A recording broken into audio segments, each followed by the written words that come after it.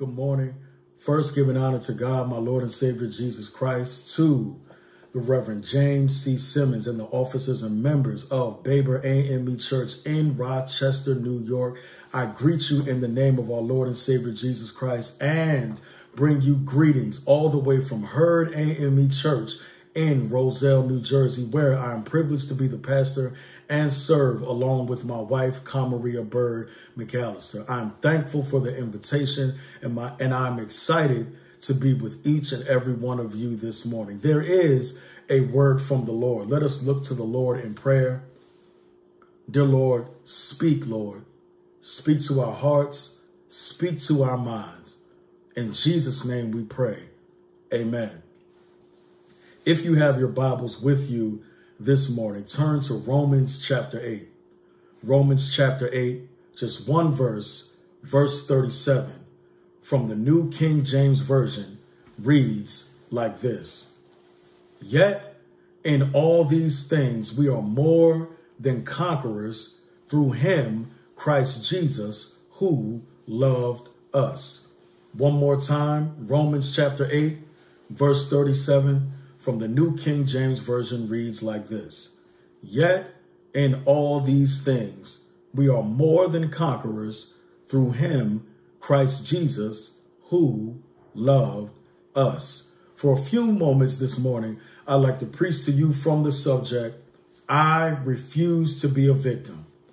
I refuse to be a victim. A victim, by definition, is a person harmed, injured, or killed as a result of a crime, accident, or other event or action. And to fall victim to something means to be hurt, killed, damaged, or destroyed by something. As we worship today, if we are honest, all of us know what it's like to be the victim of something or feel as if we are a victim. And even as we wrestle with our own stories this morning, for the last few weeks specifically, our eyes have been focused on the news and the long history of black bodies as the victims of brutality and injustice. And if we are honest today, no matter how strong you are as a man, no matter how many precautions we take, it is not possible to live in this world and not be a victim of something. Therefore, the critical question this morning is, preacher, why would you name the sermon, I refuse to be a victim? And then turn around at the beginning of this sermon and say it is not possible to live in this world and not be a victim of something. Well, I've discovered that it's not e it's not always what happens to us, but it's how we respond to what has happened. We can't always control what happens to us, but we can control how we respond. And so therefore, when we say today that I refuse to be a victim, what we are in fact saying is that I refuse to walk around with a victim's mentality. I can no longer live like this. I refuse to think, live, and function for the rest of my life like a victim.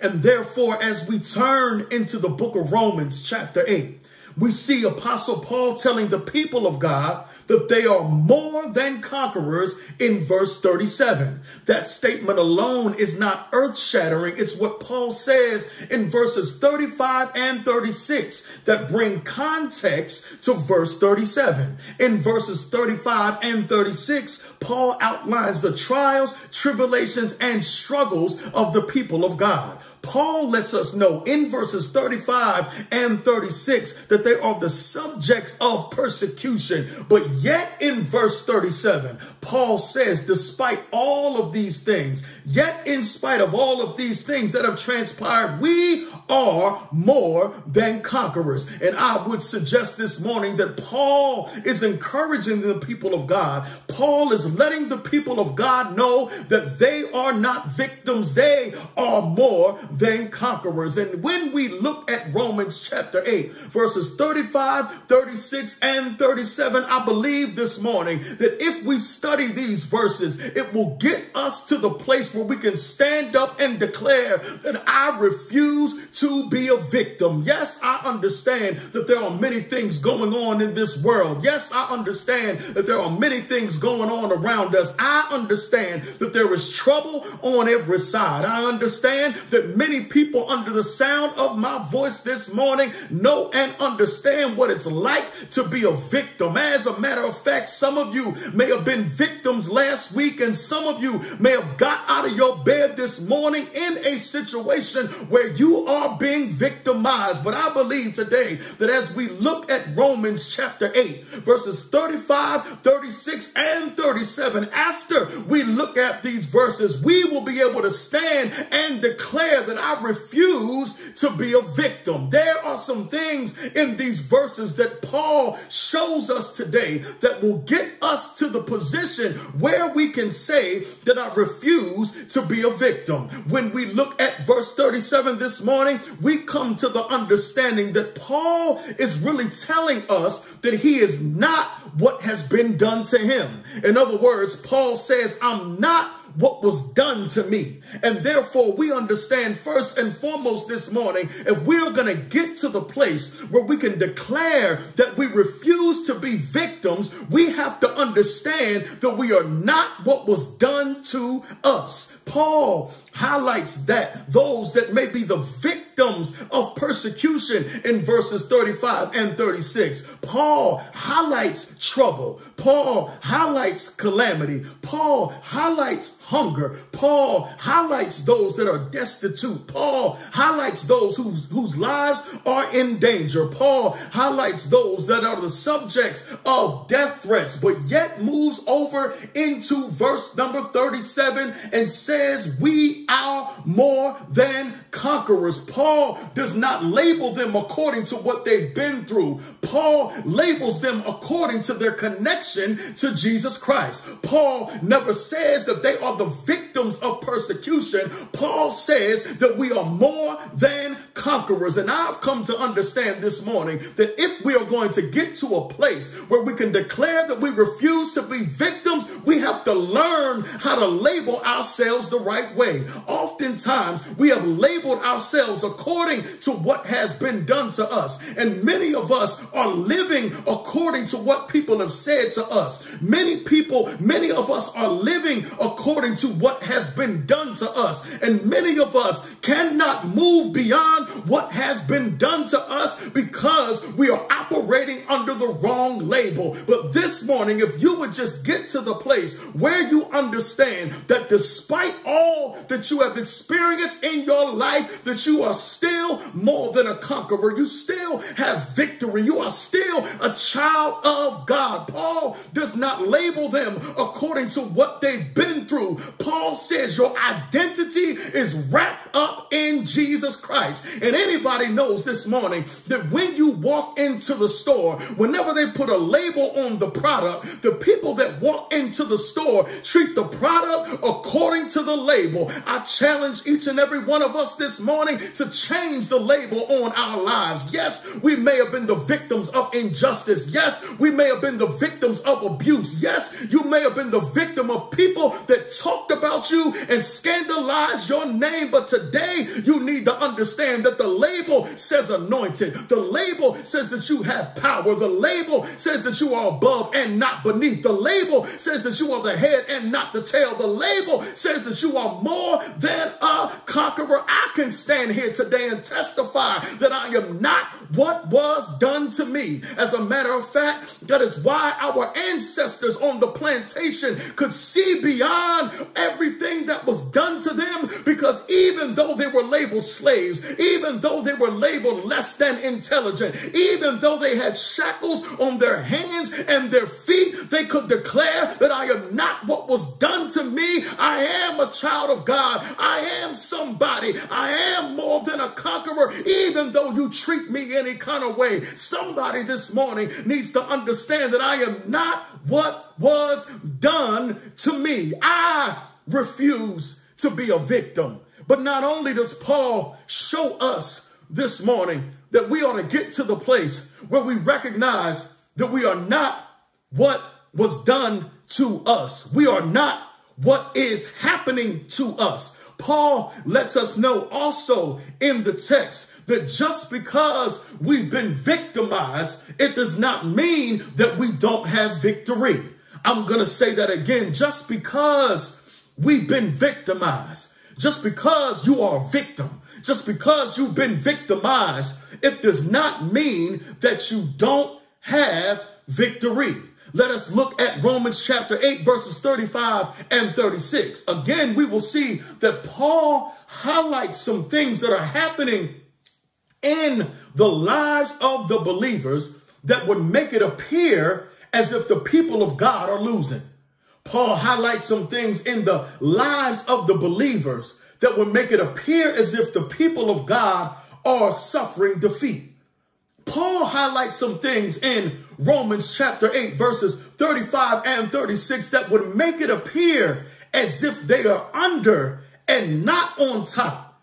And then Paul turns around in verse 37 and says, We are more than conquerors. Really, what Paul is saying here is that overwhelming victory is ours despite all of the things that are happening to us. How can Paul list all of these things that make it appear as if the people of God are losing, but yet turn around and say overwhelming victory is ours. We've come to understand today that sometimes everything is not what it appears to be. Uh, people in the world would call this an optical illusion. When you look at something, but then get up on it and discover that it's something else. And oftentimes when we look at the scriptures, even when we look at Romans chapter 8, verses 35, 36, and 37, the way Paul talks about, starts out talking about struggle and trouble, but then ends on overwhelming victory and being more than a conqueror, it would appear that there is an optical illusion taking place here. If we could observe those Christians today, we would say they are defeated. If we could observe those Christians today, we would say that they are under. If we could observe those Christians today, we would say that they are indeed losing. But yet Paul says, in spite of what you see,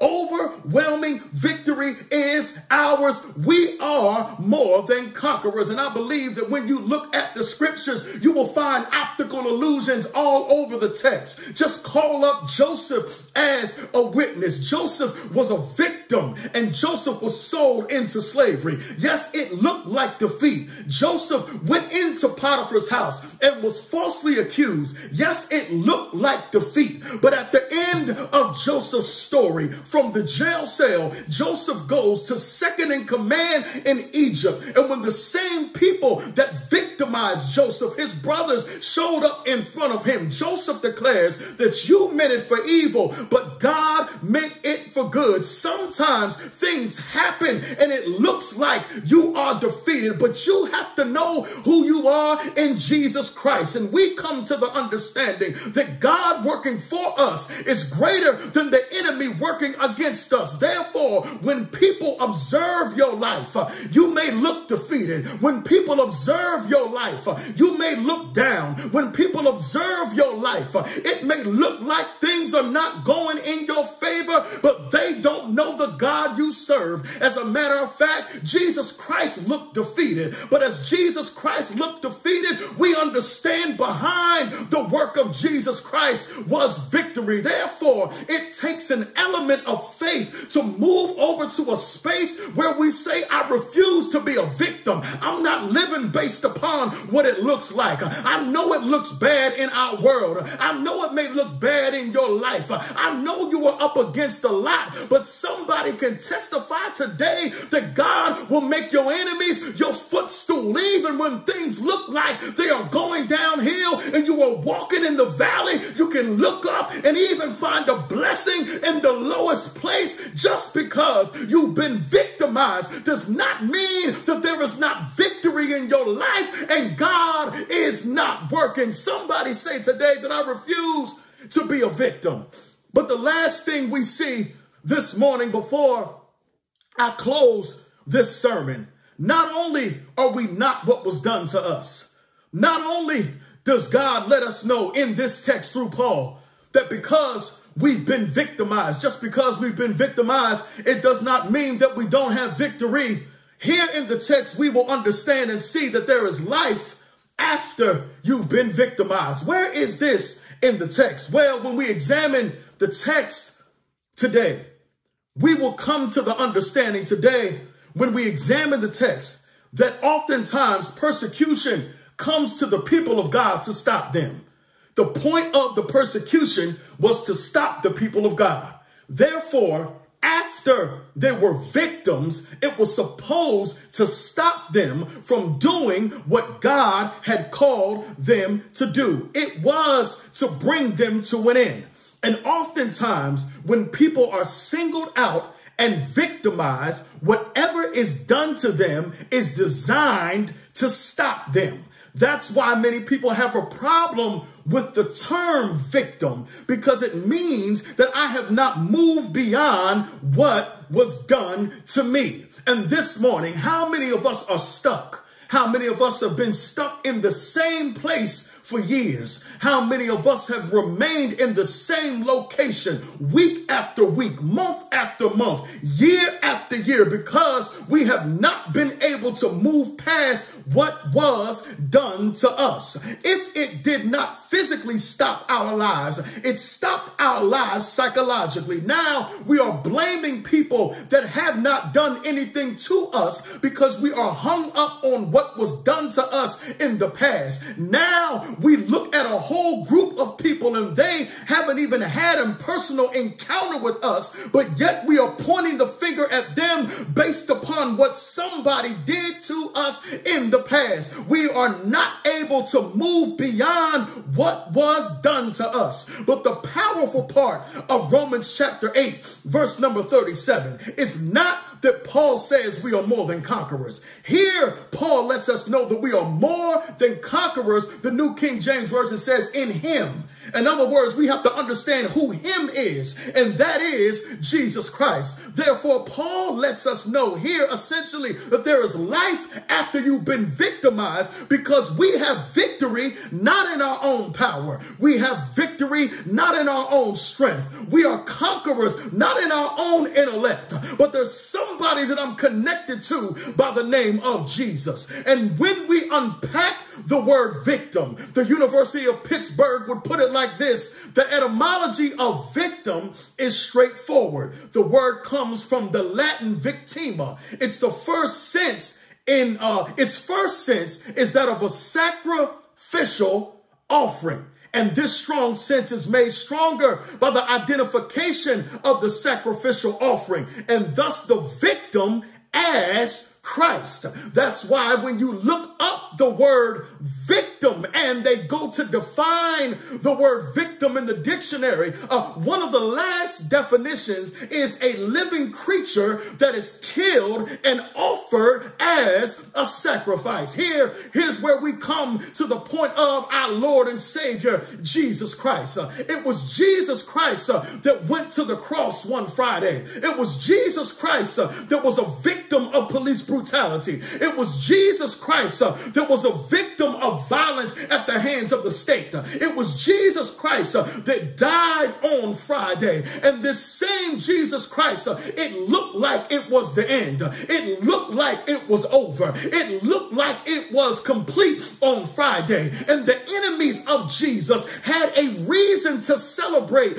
on Friday because Jesus died. But on early Sunday morning, Jesus got up out of the grave. And what we have to understand is that our victory, the reason we can say that we are more than conquerors is attached to Jesus who was a victim for us. Yes, that is why we can testify this morning and declare that we refuse to be victims because our power is wrapped up in Jesus Christ. It's not our own power. It's not our own strength. It's not our own intellect, but we understand that the same power that raised Jesus from the grave is the same power that is in us. And even when we lose our lives, we can declare to live as Christ and to die is gain no matter what is done to us. There is life after you've been victimized. And so I stopped by Baber AME Church this morning to tell somebody that yes,